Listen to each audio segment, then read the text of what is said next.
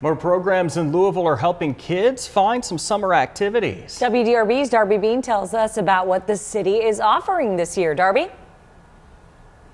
Well, tomorrow is officially the first day of summer, and here today inside the Portland Community Center, Mayor Greenberg and others talked about new programs that are available for kids 10 to 18 years old. Louisville's Office for Safe and Healthy Neighborhoods, often known as OSHN, is offering free summer youth programs for kids and teens at the local community centers. Programs vary at each of these centers, and they're in partnership with the city's Parks and Recreation Department. Kids were standing next to the mayor and others this morning as they talked about those programs available available. Activities include web design, sports, arts and film development, shoe and clothing design, financial literacy, photography, music, and a whole lot more. I think by providing young adults and kids with opportunities to learn, to have fun, to, to expand their horizons is a wonderful thing.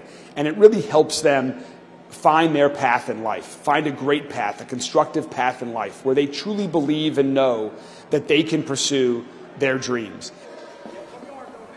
OSHN's Trauma Resilient Communities Division is also offering a program that's called Mind, Body, Soul.